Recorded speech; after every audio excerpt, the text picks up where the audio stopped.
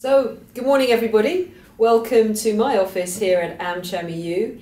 Um, this coming towards the end of February, we've had a very busy month, and one of the biggest announcements that we were delighted with this month was, of course, the mention in President Obama's State of the Union speech on February the 12th that there is support for the official start of negotiations for a, an EU US transatlantic trade and investment partnership. So we're absolutely delighted with that announcement.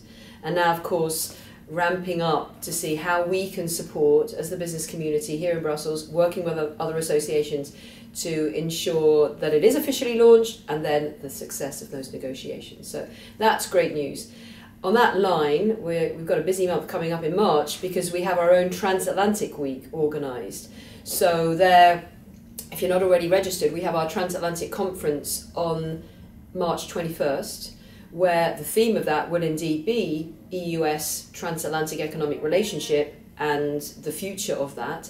And we have Lucinda Creighton, who's the Minister for European Affairs from Ireland, as one of our keynotes, as well as US Ambassador Kennard. We also have a transatlantic cocktail in the Parliament, and the same week we've invited all our national AmCham colleagues over to Brussels, as we do every year, for a policy briefing as we continue to work towards ways of working more and more closely with, our, with our colleagues at member state level. So very, very busy week, lots to discuss there. If you'd like to come along, then please let us know.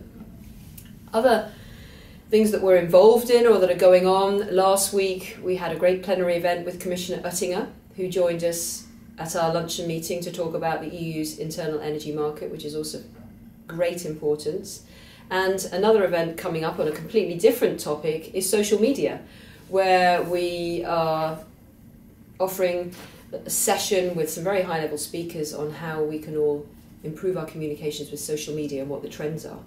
Finally, and we'll be back working on that now, although less so me. We have a young professionals event tonight, but it's full, so I'm not allowed to go. Um, it's for young professionals only, but it's been such a success that there might be another one. So if you were disappointed this time, watch this space, because there might be another one on the card. So I wish you all a very uh, successful conclusion to February, and here's to a busy month of March. Bye for now.